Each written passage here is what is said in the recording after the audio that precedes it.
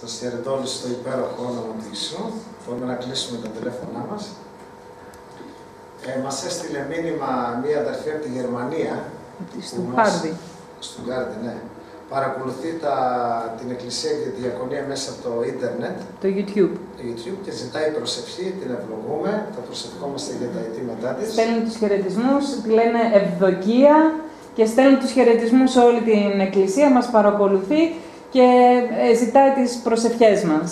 Αμήν και ιδιαίτερα και στον Δημήτρη από την Πάτρα, τον Πατρινό, που είναι έτσι φίλος της Διακονίας, τον ευλογούμε και προσευχόμαστε και για αυτόν και για όλους τους αδερφούς, για όλη τη χώρα μας και για όλο τον κόσμο, έτσι, δόξα στον Κύριο.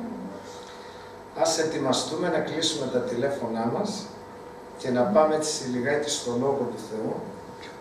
Β. Βασιλέων, σελίδα 546, στο δεύτερο κεφάλαιο και στο 19. Β. Βασιλέων, 546, δεύτερο κεφάλαιο και στο 19 εδάφιο. Το βρήκαμε όλοι; Δόξα στον Κύριο, έτσι; Για να ετοιμαστούμε λιγάκι. Στο 19. Και οι άντρες της πόλης είπαν στον Ελισέα: Δες τώρα η θέση της πόλης αυτής είναι καλή, όπως βλέπει ο κύριος μου. Τα νερά όμως είναι κακά και η γη είναι άγωνη. Και είπε: Φέρτε μια καινούργια φιάλη και βάλτε σε αυτήν αλάτι και του έφεραν. Και βγήκε στην πηγή των νερών και έριξε εκεί το αλάτι και είπε: Έτσι λέει ο κύριος: Θεράπευσε αυτά τα νερά και δεν θα υπάρχει πλέον για, από αυτά θάνατος η ακαμπία και γιατρεύτηκαν τα νερά μέχρι αυτή την ημέρα σύμφωνα με τον λόγο του Ελισέ που μίλησε. Και από, και α- από εκεί ανέβαινε στη Βεθήλ και ενώ αυτός ανέβαινε στον δρόμο βγήκαν από την πόλη μερικά μικρά παιδιά και τον κορόιδευαν και του έλεγαν «Ανέβαινε φαλακρέ, ανέβαινε φαλακρέ». Και εκείνος στράφηκε πίσω και βλέποντάς το, τα καταράστηκε στο όνομα του Κυρίου και βγήκαν από το δάσος δύο αρκούδες και διασπάραξαν από αυτά 42 παιδιά και από εκεί πήγε στο βουνό Κάρμελο και από εκεί γύρισε στη Σαμάρια. Δόξα στον Κύριο. Ένα ωραίο μήνυμα και να δούμε τι μπορεί να μας πει το Άγιο Πνεύμα στην εποχή που ζούμε. Ένας προφήτης του Θεού στην Παλαιά Τεθήκη όταν έλαβε από το Θεό την παρουσία του Αγίου Πνεύματος άρχισε ο Θεός να το χρησιμοποιεί και να κάνει θαύματα και το πρώτο θαύμα που έκανε έκανε κάτι, πήρε αλάτι και το έριξε σε μία πηγή που τα νερά ήταν άκαρπα και υπήρχε θάνατος, δεν πεινόντουσαν. Και τα νερά θεραπεύτηκαν και γιατρεύτηκαν. Ήταν ένας μαθητής δίπλα στον προφήτη Ηλία και μαθήτευσε και μετά είχε μια μεγάλη επιθυμία καθώς ο Θεός ήταν η ώρα να πάρει τον Ηλία. Ζήτησε από τον Ηλία διπλάσια μερίδα από την παρουσία του Αγίου Πνεύματος που ήταν επάνω στον, στον Ηλία. Και τι του είπε ο Ηλίας, σκληρό πράγμα λέει ζητάς. Σκληρό πράγμα η παρουσία του Αγίου Πνεύματος. Αν λέει με δεις να, να, να φεύγω, να πηγαίνω στο θρόνο του Θεού, θα γίνει αυτό. Και καθώς ο Κύριος πήρε τον Ηλία, η παρουσία του Αγίου Πνεύματος έπεσε πάνω στον Ηλισέα και άρχισε ο Θεός να τον χρησιμοποιεί με δύναμη, όμορφα και ευλογημένα. Και θα δούμε αυτό το ωραίο θαύμα σε 7 ωραία σημεία. Το πρώτο που θέλουμε να δούμε, η θέση λέει της πόλης ήταν καλή. Προσέξτε. Αλλά τα νερά ήταν κακά και η γη ήταν άγωνη. Τα νερά δεν πεινόντουσαν και η γη ήταν άγωνη. Τι θέλει να μας πει αυτό στην εποχή που ζούμε; Αν δούμε στη Γένεση την έκτη ημέρα, τι είπε ο Θεός, όλα καλά. Έκανε τη δημιουργία, έκανε τον άνθρωπο και έκανε κάτι όμορφο ο Θεός. Που σημαίνει η ζωή του ανθρώπου είναι κάτι όμορφο. Το να είσαι άνθρωπος έχει το δώρο της ζωής. Είναι κάτι όμορφο. Αλλά η αμαρτία τι έκανε; Έκανε τον άνθρωπο να είναι άγωνη εκεί και να πίνει βρώμικα νερά. Που σημαίνει κανένας άνθρωπος δεν πλάστηκε να είναι κακός και να πάει μακριά από τον Θεό. Ο κάθε άνθρωπος γεννήθηκε από τον Θεό να ζει μαζί με τον Κύριο και να έχει μια ιδιαίτερη σχέση με τον Θεό. Και σήμερα θα δούμε τι είναι αυτό που έκανε ε, τον άνθρωπο να είναι άγωνη εκεί. Η κακή χρήση της ελευθερίας είναι. Ο Θεός μας έκανε ελεύθερους και ο άνθρωπος τι κάνει, κάνει κακή χρήση την ελευθερία και αυτό τον έκανε σαν αποτέλεσμα να πίνει τα νερά του κόσμου. Και τι λέει ο Χριστός, όποιος διψάει, λέει, ας έρθει σε μένα και σπίνει από τα ζωντανά νερά του Θεού. και μέσα από την καρδιά του, λέει, την κοιλιά του θα αναβλήσουν τα ποτάμια του Αγίου Πνεύματος και έτσι δεν θα διψάσει ποτέ στον αιώνα.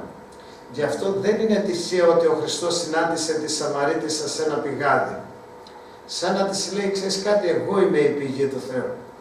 Και η Σαμαρίτησα είναι μια εικόνα όλης της ανθρωπότητας. Προσπαθούσε να γεμίσει με διάφορες σχέσεις. Και ο κάθε άνθρωπος προσπαθεί να γεμίσει τη ζωή του με διάφορα πράγματα. Αλλά τα νερά του κόσμου είναι πικρά νερά. Δεν ξεδιψάνε τη ζωή του. Αλλά και απ' την άλλη η θέση της πόλης είναι καλή.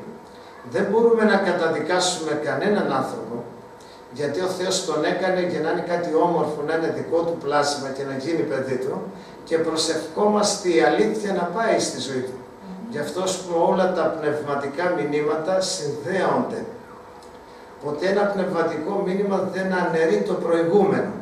Γι' αυτό είπε και ο Κύριος για τον Κάιν, όποιος τον φωνεύσει θα τιμωρηθεί εφταπλάσια. Γι' αυτό εδώ πέρα μας λέει ότι η θέση του κάθε ανθρώπου μπροστά στον Κύριο είναι καλή, αλλά έχει αρρωστήσει και πρέπει να γίνει αποκατάσταση και ο κάθε άνθρωπος είναι δεκτός από τον Θεό. Αρκεί να μπορέσει να στραφεί στον Κύριο και να λάβει δέτερη χάρη. Το δεύτερο που θέλουμε να δούμε, τα νερά είναι κακά και γίνει άγωνη. Και σίγουρα η αμαρτία σκληραίνει τον άνθρωπο. Γι' αυτό έρχεται ο Χριστός και λέει, εγώ είμαι η άμπελος η αληθινή. Και ο πατέρας είναι ο Γεωργός. Και όταν ο κάθε άνθρωπος ενωθεί με τον Χριστό, τότε γίνεται μια καρποφόρα εκεί για να μπορεί ο σπόρος του Θεού να φέρει καρπό 30, 60 και 100.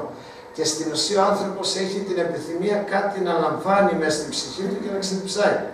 Να έχει πληρότητα. Όταν δεν απολαμβάνει την παρουσία του Θεού, προσπαθεί να ξεδιψάσει από τα νερά του κόσμου. Αλλά τα νερά αυτά είναι πικρά, φέρνουν θάνατο οδηγούν τον άνθρωπο μακριά από τον Θεό. Και επειδή οι συγγραφές επαναλαμβάνονται σε όλες τις εποχές, μας λένε κάτι, το ποιος είναι ο Θεός. Και ο Θεός είναι καλός και είναι φιλικός προς κάθε άνθρωπο. Έστειλε τον Χριστό για να προσεγγίσει τον κάθε άνθρωπο. Και έχει μια καλή επιθυμία να πιούν οι άνθρωποι από το νερό το δικό του, να ξεδιψάσουν.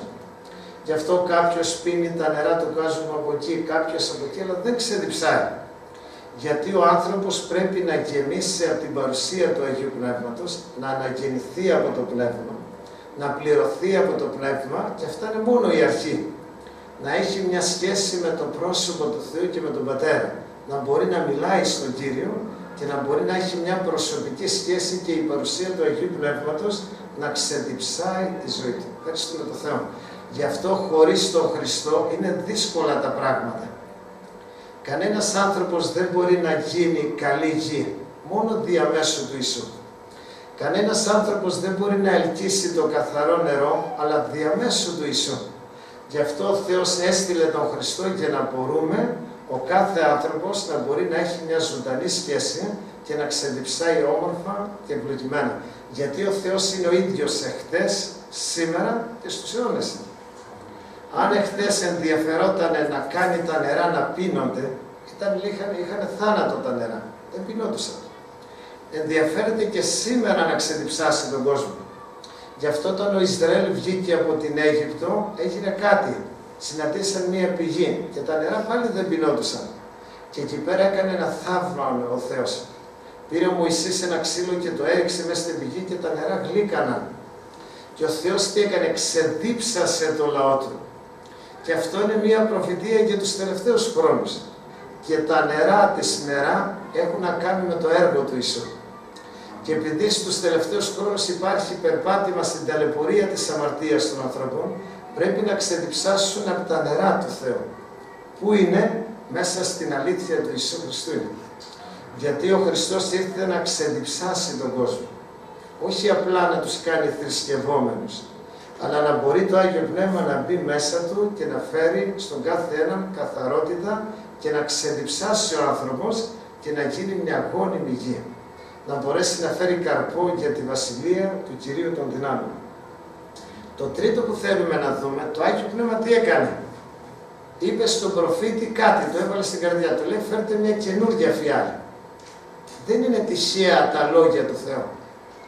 Γιατί ζήτησε καινούργια φιάλη και δεν ζήτησε μια παλιά φιάλη. Και σίγουρα πιο εύκολα βρίσκεις μια παλιά φιάλη, πιο δύσκολα βρίσκεις μια καινούργια φιάλη. Και έβαλε αλάτι μέσα.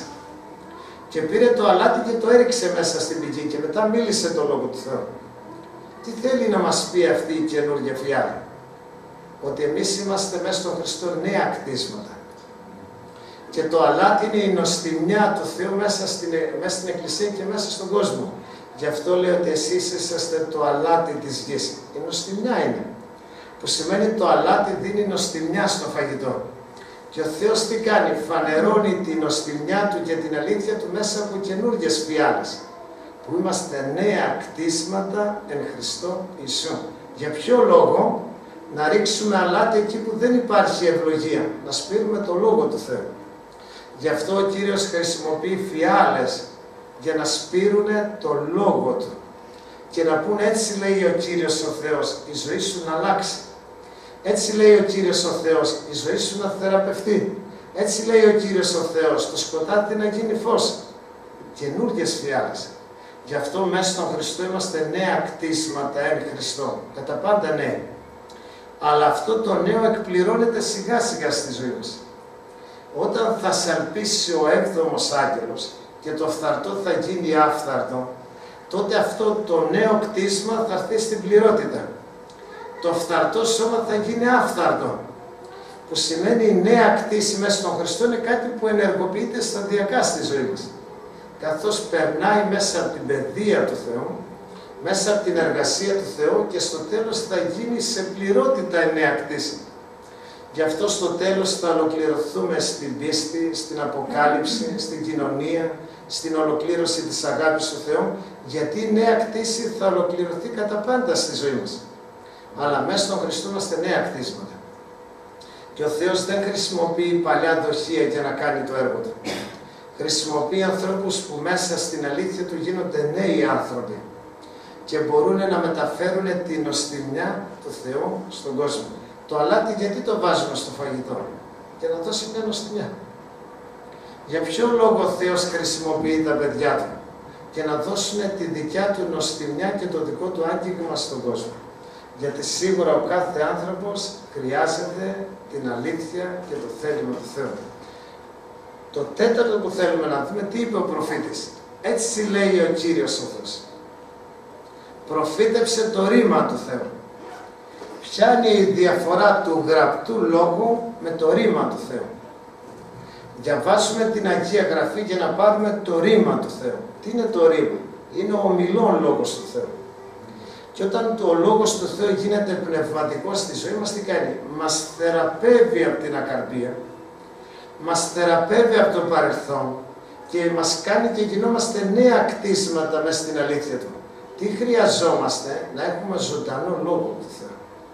Γι' αυτό ο Κύριος μας χάρισε τη Γραφή για να μπορούμε να λαμβάνουμε ζωντανά πράγματα που περνάνε μέσα από την αφιέρωση, μέσα από την προσευχή, μέσα από την ταπείνωση, μέσα από τη μετάνοια και τότε μπορείς να μιλήσεις λόγω Θεού.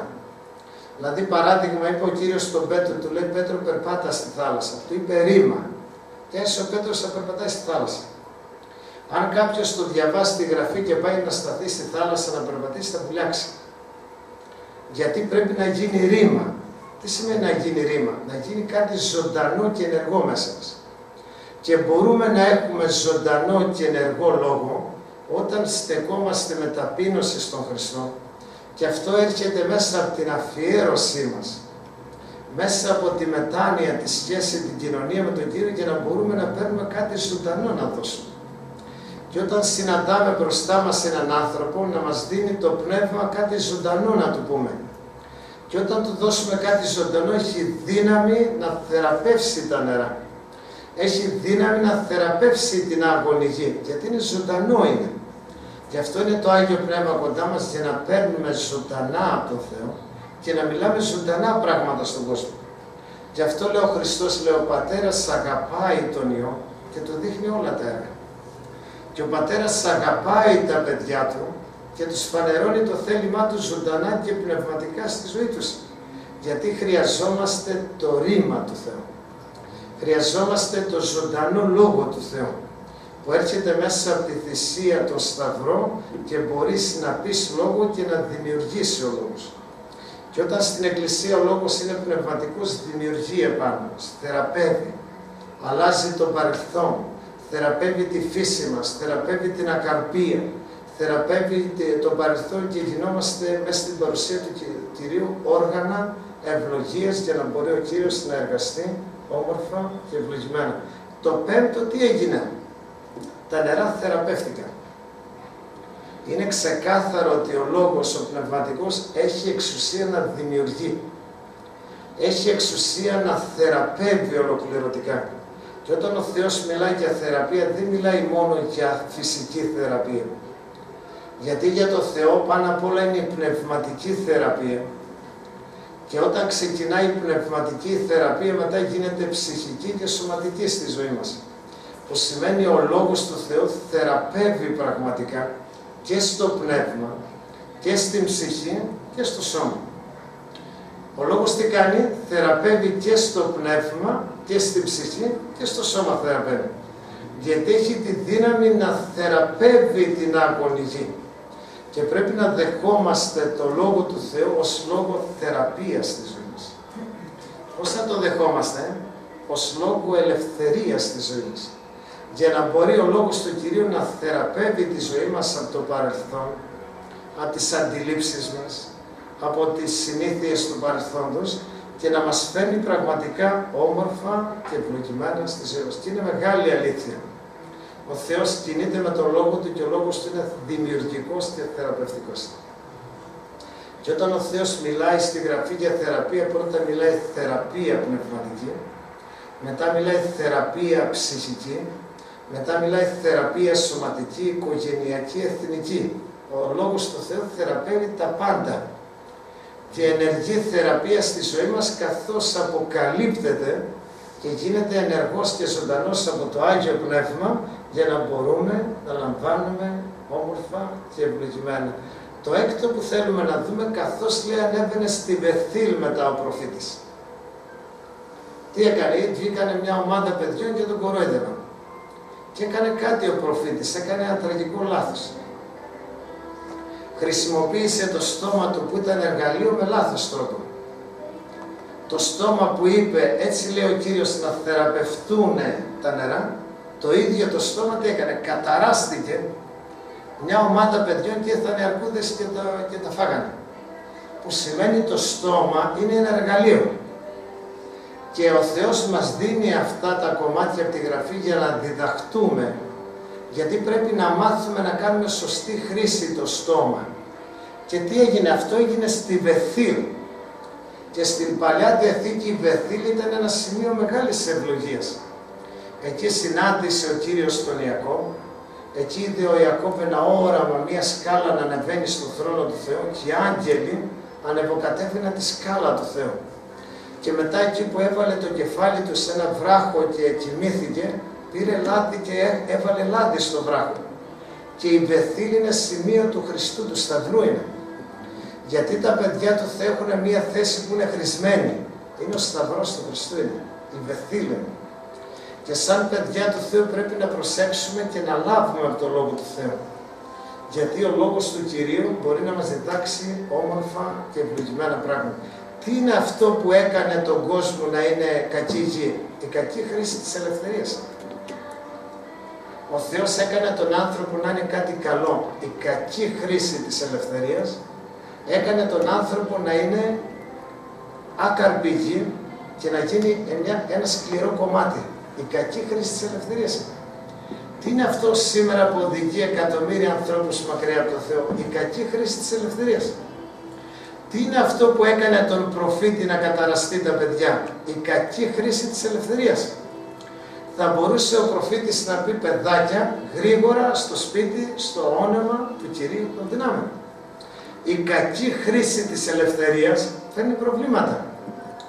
Και στους τελευταίους χρόνους ο άνθρωπος που μπορεί να διαχειριστεί σωστά την ελευθερία του είναι σε μεγάλο επίπεδο πνευματικός άνθρωπος αν δεν διαχειριστεί η Εκκλησία σωστά την ελευθερία της, υπάρχει πρόβλημα.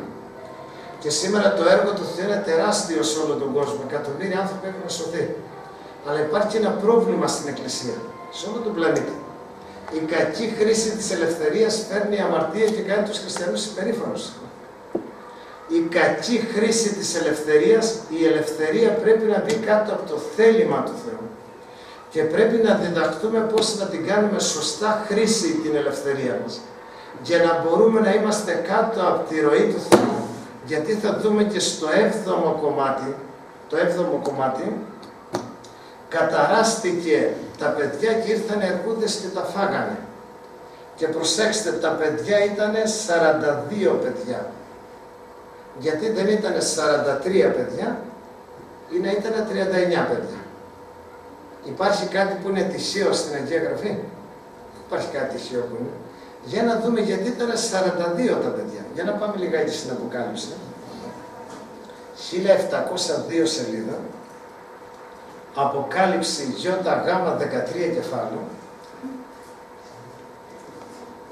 Και στο 5 εδάφιο.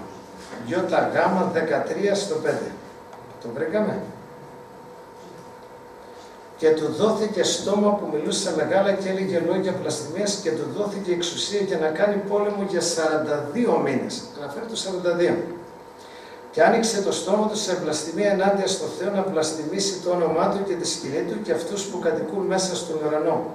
Και του δόθηκε να κάνει πόλεμα με τους Αγίους και να τους νικήσει και του δόθηκε εξουσία επάνω σε κάθε φυλή και κάθε γλώσσα και έθνος και θα το προσκυνήσουν αυτοί που κατοικούν επάνω στη γη, των οποίων τα ονόματα δεν γράφτηκαν στο βιβλίο της ζωής του Αγνίου, που είναι σφαγμένο από τη δημιουργία του κόσμου. Προσέξτε, όποιος έχει οτίο να σε ακούσει, όποιος φέρνει σε εχμαλωσία θα πάει σε εχμαλωσία, όποιος φωνεύσει με μάχαιρα, αυτός πρέπει να φωνευτεί με μάχαιρα, εδώ είναι η υπομονή και η πίστη των Αγίων.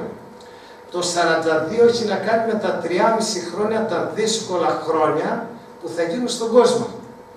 Όταν η Εκκλησία θα φύγει, ένα κομμάτι της Εκκλησίας θα μείνει κάτω και θα κυνηγηθεί για 42 μήνες, 3,5 χρόνια. Προσέξτε τι γίνεται εδώ πέρα.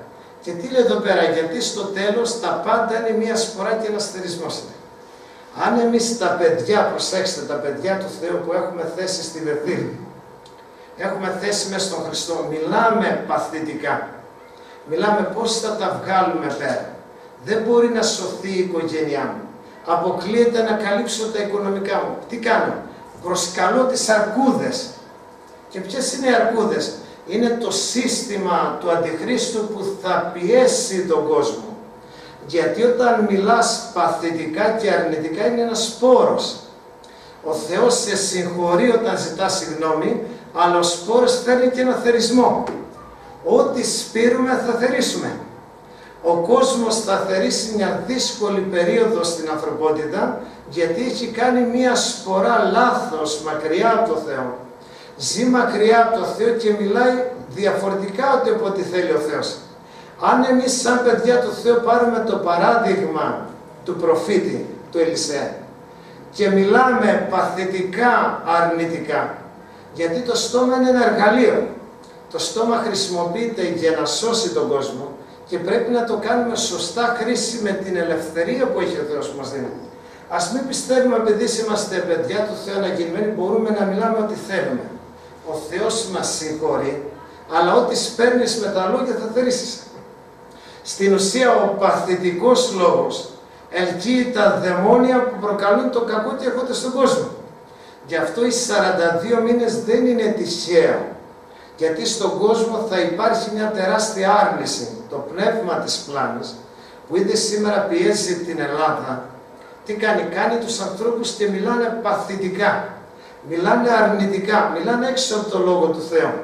Και αυτό έχει σαν αποτέλεσμα να επιστρέφει επάνω τους και να τους κατακυριεύει ο φόβος, να τους κατακυριεύει η απελπισία, να τους κατακυριεύει η απόγνωση, γιατί ό,τι μιλάς το θερίζεις και το σπέρνεις. Γι' αυτό αυτό που είπε ο προφήτης το θέρισε, ήρθε. Ήρθαν οι αρκούδες και φάγανε τα παιδιά. Και πιο πριν ο Θεός τον χρησιμοποίησε να κάνει θαύμα. Μπορεί να σε χρησιμοποιήσει ο Θεός και να με χρησιμοποιεί να σωθούν οι άνθρωποι. Αν εγώ δεν χρησιμοποιήσω σωστά το στόμα μου, αυτό θα φέρει ένα θερισμό και το θερίσω. Δεν θα κυρώσω ότι είμαι παιδί του Θεού. Γι' αυτό ένα μεγάλο της Εκκλησίας ε, θα κυνηγηθεί από το θηρίο και για 3,5 χρόνια. Θα πάει στην έρημο. δεν σημαίνει ότι ο Θεός είναι προσωπολήπτης και θα πάρει ένα κομμάτι της Εκκλησίας που το αγαπάει και το άλλο δεν το πάρει. Σε καμία περίπτωση. Έχει να κάνει με την υπακοή πάνω στις αλήθειες του Λόγου του Θεού. Γι' αυτό στην Αποκάλυψη που είναι η τελευταία προφητή λέει ότι οι Άγιοι των τελευταίων εποχών ενίκησαν το διάβολο με το λόγο της μαρτυρίας. Ξέρουν να μιλάνε. Γιατί όταν μιλάς αυτό το ακούς και μπαίνει μέσα σου. Και όταν μιλάς σε ευλογία, καλείς την ευλογία.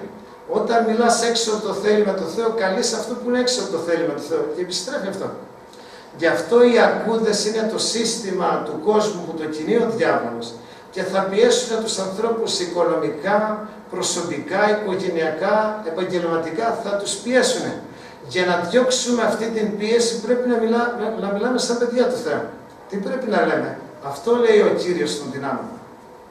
Καταστάσεις θα αλλάξουν. Τα προβλήματα θα φύγουν. Αυτό λέει ο Κύριος των δυνάμεων. Υπόσχεται σωτηρία γι' αυτό, γι' αυτό, γι' αυτό. Μαθαίνουμε να μιλάμε το Λόγο του Θεού γιατί το σπέρνεις. Και αυτό που σπέρνεις το φυτεύει στην καρδιά σου. Και αυτό που μπαίνει στην καρδιά σου θα το θερήσεις στη ζωή σου.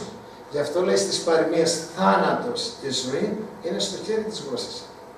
Και τον βλέπουμε τον προφήτη Ελισέα. Το στόμα του έδωσε ζωή. Εκεί που ήταν τα νερά άκαρπα, το στόμα του έφερε κρίση και κατάρα πάνω στα παιδιά.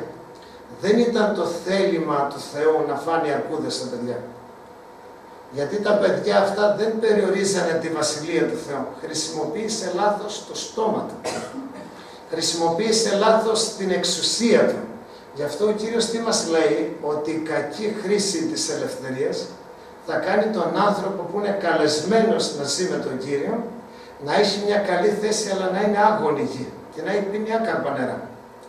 Και η κακή χρήση της ελευθερίας του αναγεννημένου παιδιού θα σπείρει και θα θερήσει προβλήματα γιατί τα έσπηρε.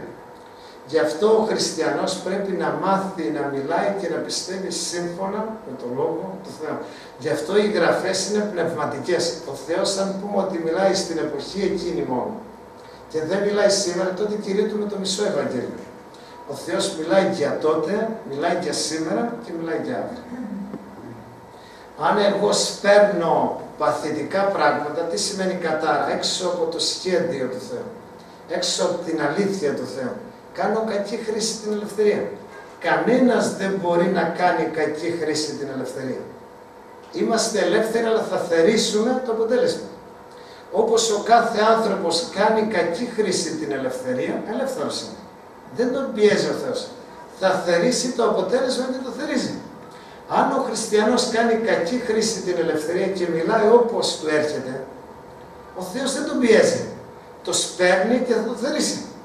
Γι' αυτό όταν ο Πέτρος αρνήθηκε τον Κύριο τρεις φορές, μετά ο Κύριος του λέει τρεις φορές, με αγαπάς Πέτρο.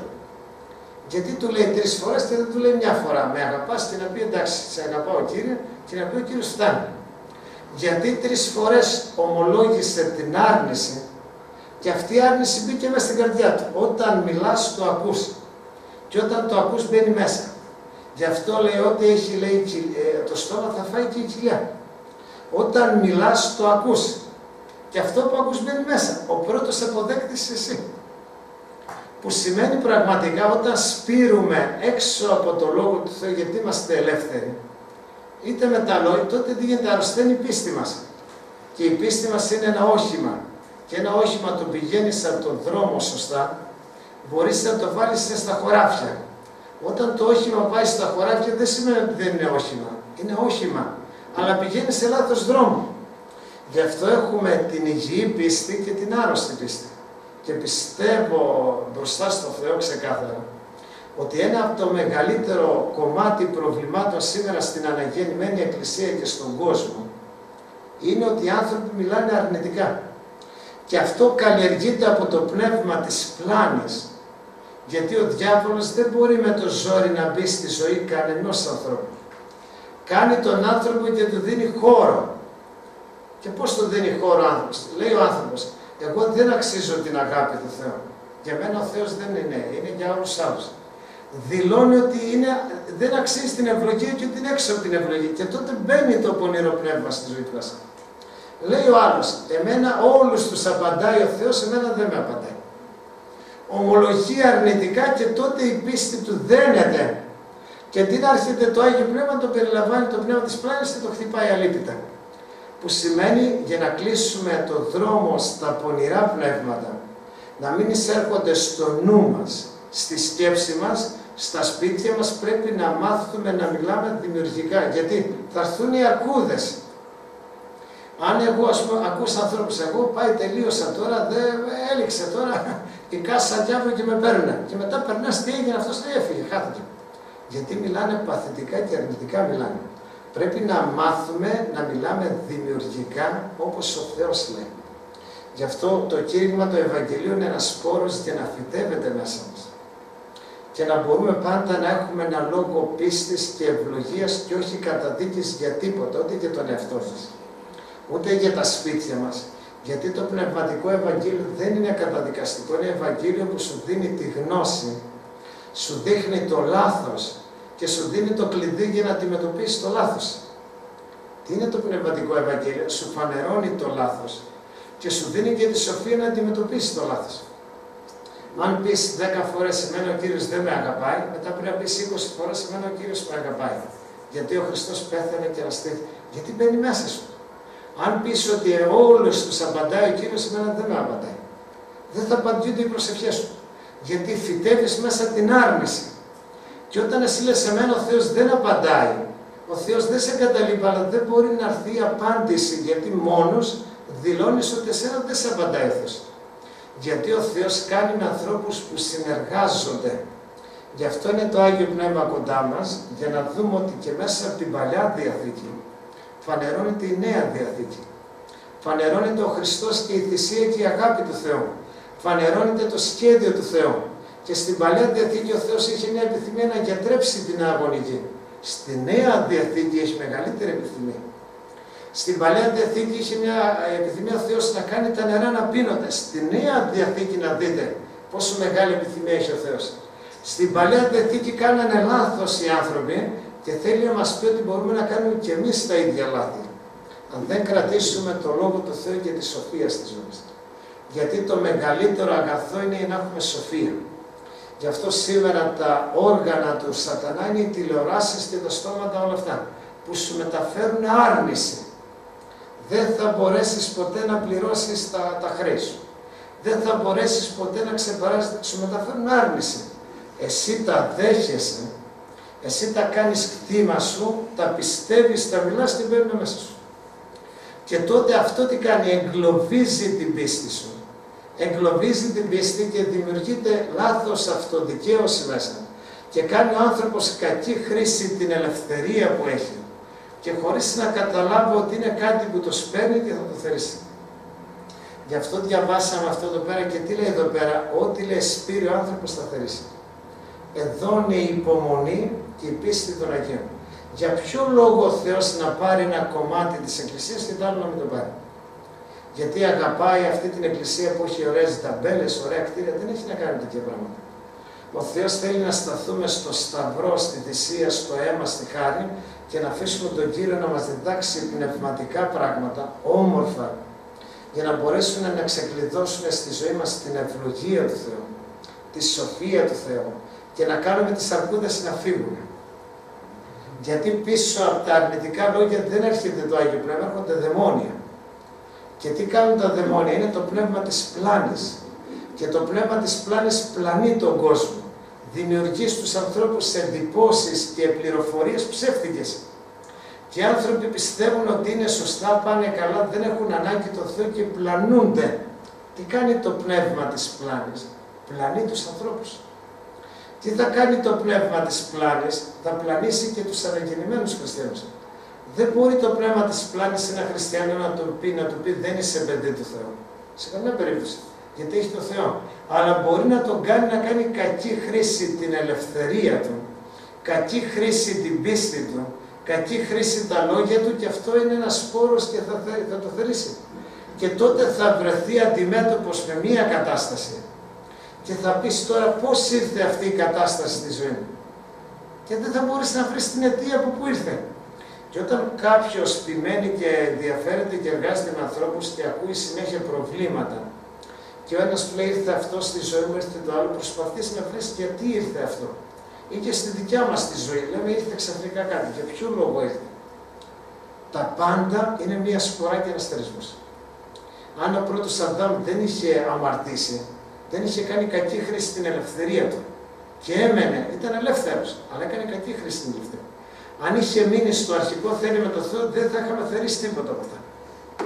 Ο Θεός δεν τον εμπόδισε, τον άφησε ελεύθερο. Και τα θέρισε και αυτός και τα θερίζουμε κι εμείς.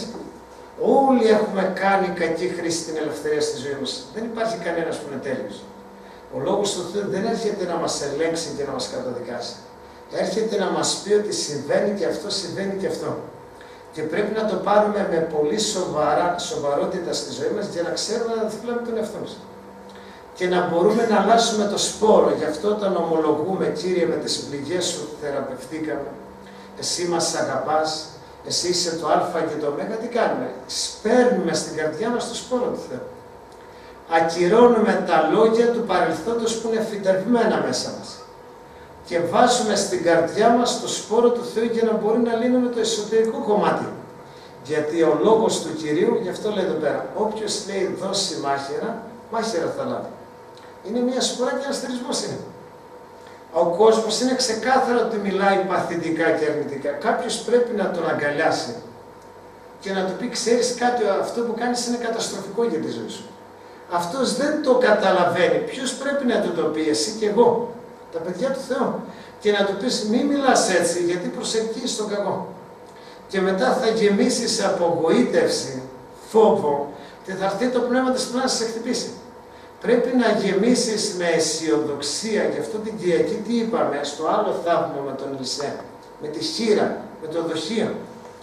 Που έγινε, έτρεχε το λάδι και γεμίσαν το δοχείο και πλήρωσε το χρέος. Και αυτό το θαύμα έχει να κάνει με την Ελλάδα σήμερα.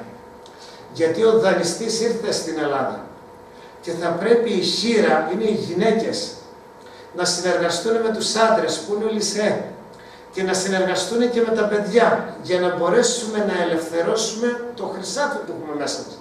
Πώς θα το λύσουμε; Σε πνεύμα συνεργασίας, ενότητας και κοινωνίας.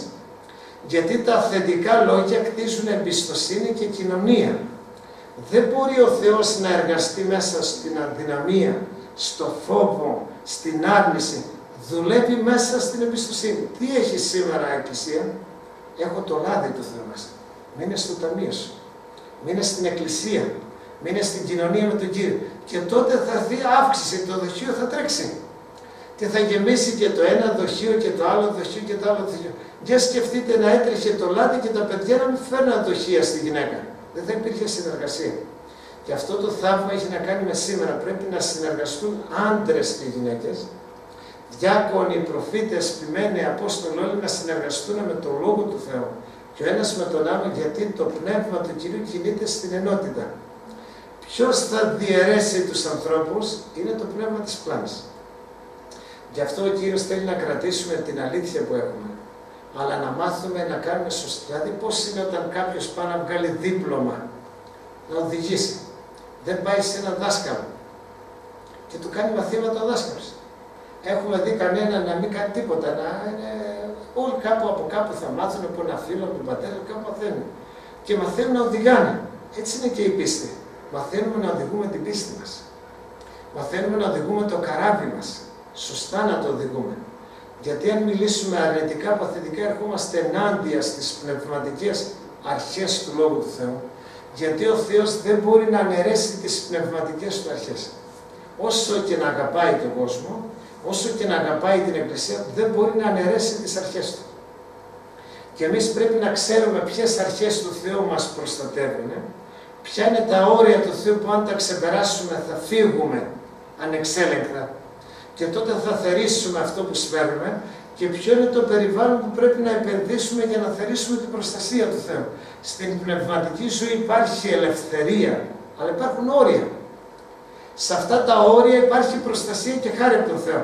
Αν φύγουμε τα όρια, αν ξεπεράσουμε τα όρια, δεν σημαίνει ο Θεός δεν μας συγχωρεί, δεν μας αγαπάει, δεν, δεν, δεν, βεβαίως. Αλλά είναι μια σπορά που θα φέρει ένα θερισμό. Θα φέρει τις αρκούδες. Γιατί και ο προφήτης όταν είπε αυτό το λόγο στα παιδάκια, πού να φανταστεί, τι θα γινόταν. Ούτε στα πιο κρυφά του όνειρα το φανταζόταν. Δεν το φανταζόταν αυτό το πράγμα ότι θα γινόταν έτσι. Κι όμως έσπηρε κάτι και το θέρισε. Το ίδιο κανάλι που έφερε ευλογία, το ίδιο κανάλι έφερε ένα διαφορετικό αποτέλεσμα. Σίγουρα τα παιδάκια είναι στην παρουσία του Κυρίου, ο Θεός δεν είναι άδικος, αλλά είναι κάτι πνευματικό που μαθαίνεις. Δεν πρέπει να μιλάμε παθητικά. Τι λέει η τηλεόραση, τι λέει το σύστημα του κόσμου, τι λέει η Τρόικα, τι λέει το Διεθνές Ταμείο; Πρέπει να λέμε τι λέει ο κύριος. Και όταν πάμε στην Εκκλησία να λέμε όλη τη βδομάδα, αυτό είπε ο κύριος των δυνάμεων αυτή τη βδομάδα. Να το κρατήσουμε στο λόγο του. Να το σπείρουμε μέσα. Τι λέει ο κύριος των να το φυτέψουμε. Γιατί δεν έχει να πει, ας πούμε, εγώ το κάνω για πλάκα, ή δεν, είναι σπορά και θερίσμα. Δηλαδή, αν πάρεις αυτό εδώ και πεις, εγώ το πετάω τώρα, και δεν πιστεύω, θα πέσει κάτω. Είναι κάτι, είναι μια αλήθεια. Κάθε σπόρος είναι μια αλήθεια. Τι πρέπει να σπείρουμε, το λόγο του Κύριου. Και για τον εαυτό μας, αλλά και για τα σπίτια μας, και για την Εκκλησία του Ιησού, και για όλο τον κόσμο, να νικήσουμε την κατάρα με την ευλογία. Να νικήσουμε την πλάνη με την αλήθεια. Να νικήσουμε την ακαρπία με το λόγο του Κυρίου. Να νικήσουμε την απογοήτευση με το σπόρο του Θεού.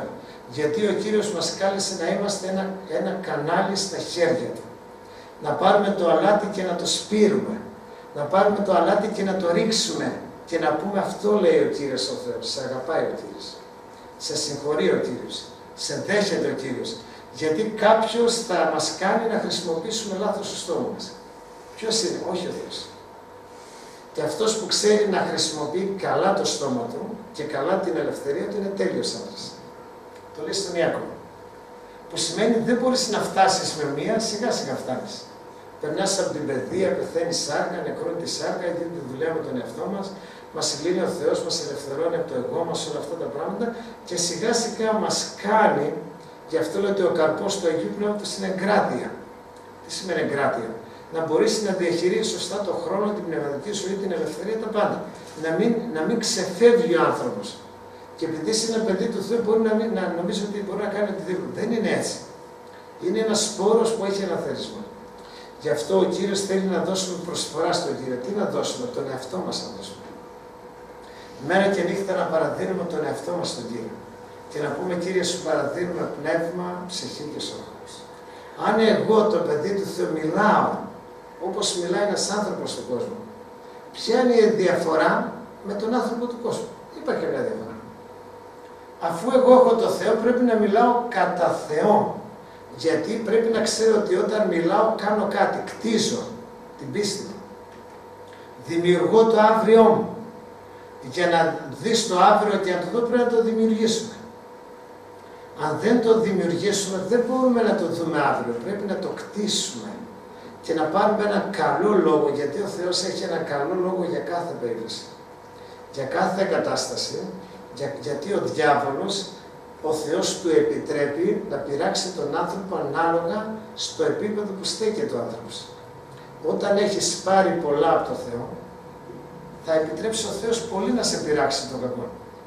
Ένας άνθρωπος του κόσμου έχει πάρει λίγα, ο Θεός του προστατεύει, αλλά πάλι τον πειράζει τον κακό.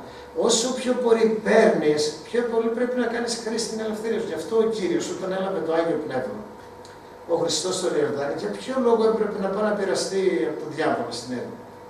Αφού πήρε το Άγιο Πνεύμα, ο πατέρας τον τίμησε, δήλωσε την μαζί Για ποιο λόγο; Απέδειξε ότι μπορεί σαν παιδί του Θεού να νικάει τον εχθρό. Και είπε, διάβολο είναι διαγραμμένο. Δεν θα υποκύψω. Γιατί αυτό που ήταν γεγραμμένο στη, στην Παλιά Διαθήκη, ήταν γεγραμμένο και στο πνεύμα της. Γι' αυτό πολλές φορές πολλά είναι γεγραμμένα στο νου μας, και πρέπει να φύγουν και να γίνουν γεγραμμένα στο πνεύμα μας. Και όταν κάτι γράφεται στο πνεύμα, το στηρίζει ο Θεός γιατί είναι πνευματικό και έχει δύναμη για να μπορούμε να κρατήσουμε όμορφα και ευλογημένα το Λόγο του Θεού στη ζωή Και σας λέω ειλικρινά, όποτε έκανα το λάθος και με παγίδευσε ο πονηρός και μίλησα παθητικά, το βρήκα. Δεν υπάρχει περίπτωση. Και αμέσως πήρα το μήνυμα κατευθείαν από το Θεό, γιατί ο Θεός αφήνει να μάθουμε στην πράξη και μετά μπαίνει στο στόμα φυλακή μπαίνει. Φυλακή μπαίνει. Δεν αφήνει στο στόμα σου να βγάλει τίποτα. Φυλακή μπαίνει. Δεν πάνε να βλέπουν τα μάτια ό,τι και να βλέπουν φυλακή γιατί ξέρεις την αξία που έχει ο λόγος. Ας πούμε σε ένα ζευγάρι. Όταν λέει ας πούμε το ένας στον άλλον λέει αρνητικά λόγια. Αυτό τα φυτεύουν ένας στον άλλο και μετά δεν μπορεί να υπάρξει ενότητα στο ζευγάρι. Υπάρχει αρνητικός σπόρο. Τι πρέπει να λέει ο άντρας για τη γυναίκα, ευχαριστώ τον κύριο για τη γυναίκα μου. Τι πρέπει να λέει η γυναίκα, ευχαριστώ τον κύριο για τον άντρα μου. Θετικά λόγια. Και ο ένας θα βοηθήσει τον άλλον. Ο ένας βοηθάει τον άλλον, γιατί ο σπόρος του κυρίου είναι όμορφος και ευλογημένος να εργαστεί στη ζωή μα. Γι' αυτό το 42 έχει ένα μήνυμα. Δεν είναι τυχαίο.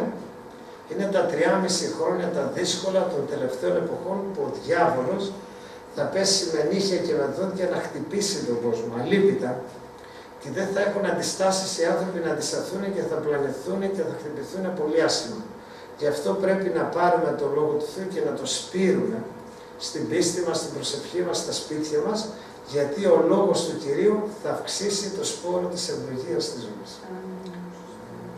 Και στην ουσία αν πεις Κύριε, σήμερα του ζητείς κάτι, θα σου πει ο Κύριος αυτό που είπε στη γυναίκα, τι έχεις μέσα σου.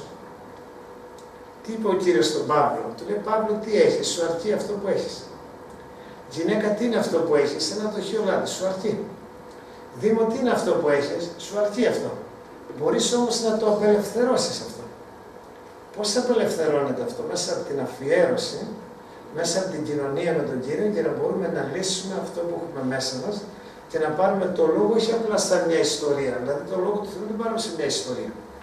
Τον καιρό εκείνο ένας προφήτης πήρε το αλάτι, το έριξε κάτω, γύρω τα νερά και να το λέμε στα μικρά παιδάκια σαν ιστορία, σαν παραμύθι. Δεν είναι τέτοιο πράγμα ο Λόγος του Θεού. Ο Λόγος του Θεού είναι για χτες, είναι για σήμερα, για την πράξη στη ζωή μας. Είναι λόγος για πρακτική ζωή. Δεν είναι τα γεγονότα να πούμε τον καιρό εκείνο, είναι για σήμερα είναι πώς τα πράττουμε, πώς τα ζούμε, τι θέλει ο Θεός, τι θα μου φέρει ευλογία, τι θα μου φέρει πρόβλημα. Και ο Θεός είναι ξεκάθαρος και τι λέει, αυτό θα σου φέρει ευλογία, αυτό θα σου φέρει πρόβλημα. Ο Θεός το λέει και να μην πούμε μετά δεν μας το είπες Κύριε, τα λέει όλα ο Θεός. Είναι ξεκάθαρος με τον εαυτό του. Γι' αυτό η χάρη του Θεού μας βοηθάει όχι να καταδικαστούμε, αλλά να μπορέσουμε να καταλάβουμε. Γι' αυτό πολλά γεγονότα και μέσα στην Εκκλησία του Ιησού Χριστού, αν δεν κάτσεις να προσευχηθείς βαθιά, δεν μπορείς να πάρεις την πνευματική εξήγηση. Γιατί για όλα τα πράγματα υπάρχουν εξηγήσεις, όχι προς καταδίκη, αλλά προς πίμαξη, προς μαθητεία, προς εκπαίδευση και προς μοιρασμό. Και αυτό το Ευαγγέλιο δεν έχει το σκοπό, ας πούμε, να ακούσουμε ένα κήρυγμα και απλά, είναι να πάρουμε πράγματα, να μάθουμε. Για να μπορούμε να τα μεταδώσουμε και σε άλλους ανθρώπους και άλλοι σε άλλους ανθρώπους και να καταλάβουν ότι ένα από τα πιο σημαντικά πράγματα είναι τα λόγια τους. Αν τα λόγια δεν είχαν δύναμη, δεν θα καταργιόταν ένας άνθρωπος στον άλλο σήμερα. Κάποιος τους υποκινεί. Και αυτό το σπέρνουν και μετά έρχεται στα σπίτια, στη ζωή τους σύγχυση, προβλήματα, πανικός, καταστροφή και χτυπάει αλήπητα το κακό. Για να γίνει αυτό έχει προηγηθεί σπορά. Αν δεν υπάρχει σπορά δεν μπορεί να γίνει αυτό. Κάποιοι είναι άσοφοι, κάποιοι έχουν πιο πολύ σοφία. Αυτοί που έχουν πιο πολύ σοφία θα βοηθήσουν και τους πιο άσοφους. Να γίνουν και αυτοί σοφοί να βοηθήσουν και άλλους άσοφους. Γιατί ο λόγος του Κυρίου είναι ζωντανός και εργάζεται απλά και βοηθά. Στον Κύριο. Τι λέει ο λόγος του Κυρίου, να κρατήσουμε τη σοφία Του και την αλήθεια Του και να πάρουμε τα μηνύματα γιατί στους τελευταίους χρόνους. Όταν φύγει η Εκκλησία θα είναι δύσκολα τα πράγματα. Γιατί σήμερα η προσευχή της Εκκλησίας περιορίζει λίγο την επίθεση του εχθρού. Σταματάει τα πονηρά πνεύματα. Και όσο η, Εκκλησία, η προσευχή μας γίνεται πνευματική και όχι συναισθηματική, πνευματική προσευχή. Η προσευχή μας πρέπει να φτάσει σε πνευματικό επίπεδο, ώστε όταν προσευχόμαστε να ξέρουμε τι κάνουμε. Και όταν προσευχόμαστε κάνουμε δύο πράγματα. Κλείνουμε πόρτες του σατανά και ανοίγουμε θύρα για το Θεό. Γι' αυτό λέει ο Κύριος, ό,τι λύσετε στη γη, το λύνει και ο ουρανός. Η προσευχή δύο πράγματα έχει. Δύο πράγματα. Και σήμερα που έλαβα αυτό το μήνυμα, το έλαβα από την Κυριακή το απόγευμα το μήνυμα αυτό στην Λιβάδα. Και ο Θεός πάντα για όλα τα πράγματα συμμαρτυρεί. Και αυτομάτως μου έρχεται ένα μήνυμα στο κινητό που έναν αδερφό, άνοιξα θύρα λέει ο Κύριος. Κατευθείαν που σημαίνει πρέπει να καταλαβαίνουμε πώς δουλεύει ο Λόγος του Θεού, γιατί η κακή χρήση της ελευθερίας φέρνει προβλήματα. Είτε είμαστε πιστοί, είτε δεν είμαστε πολύ πιστοί, φέρνει προβλήματα. Η ελευθερία κάτω από το Λόγο του Θεού φέρνει προστασία και ευλογία. Είναι ξεκάθαρο πράγμα. Δεν μπορούμε να χρησιμοποιήσουμε την πίστη μας, το κάλεσμό μας όπως θέλουμε. Θα φέρει προβλήματα, είναι ξεκάθαρο. Το σπέρνεις και το θερίζεις.